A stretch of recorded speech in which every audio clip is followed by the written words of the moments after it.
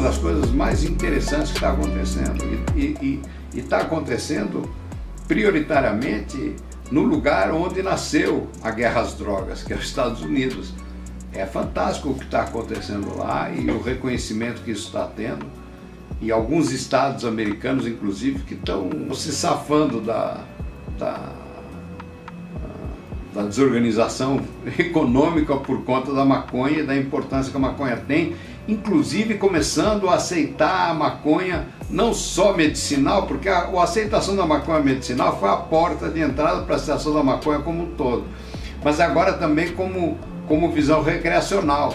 É como se a alegria, o estado de espírito que a gente tivesse não fizesse parte da saúde. É óbvio que faz e é isso que torna a maconha um remédio, um remédio extraordinário para as doenças é, físicas e para as doenças da alma.